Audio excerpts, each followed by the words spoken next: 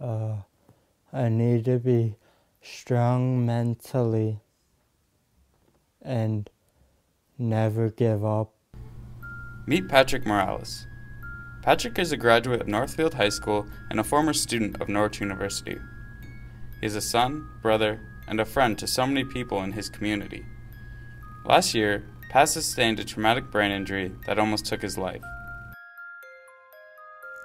It was it was pretty bad. It was almost at the, uh, you know, a decision had to be made.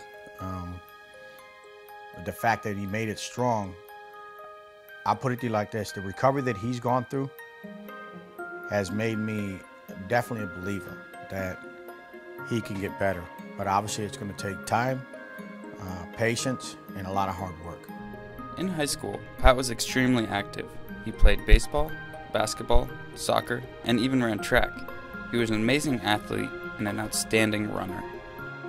Pat is very outgoing, very athletic. Um, trying to think of a good word for you, Pat. Strong. Pat is very strong.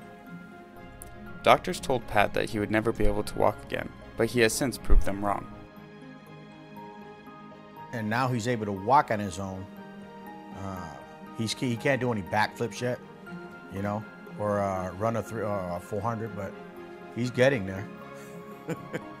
if he can do this when people didn't think he was going to make it at all, what can he do now? And you know, he wants to run now, and I think that he's more than capable of doing it.